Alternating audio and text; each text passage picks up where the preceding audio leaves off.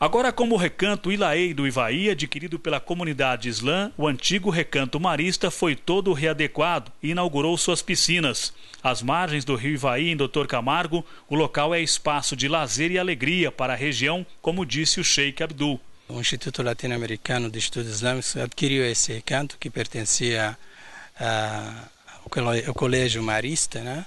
Para reabrir ele para o público, para servir também como um centro de turismo e lazer para toda essa região, né? desde Maringá e as regiões que cercam a cidade de Maringá. O espaço será, a partir de 16 de dezembro, aberto ao público de modo geral. Qualquer pessoa que queira vir passar fim de semana aqui, eles podem uh, vir aqui, serão bem-vindos aqui a todos.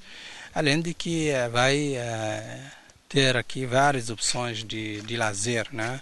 Ter pedalinho na, na, nos laguinhos aqui, as piscinas, né? Para o pessoal nadar no final de semana, vai ter salão de festas e eventos aqui, vai ter uma pousada também para a realização de, de casamentos, encontros, congressos, conferências a nível nacional e a nível internacional também. Para o prefeito de Dr. Camargo, a reativação do espaço que foi alagado pelas enchentes por duas vezes nos últimos dois anos é, além de lazer, turismo para o município. Hoje está se reativando esse espaço que é de muita importância para o nosso município, é, a nossa, é o nosso turismo do município, basicamente, o turismo mais forte está localizado aqui.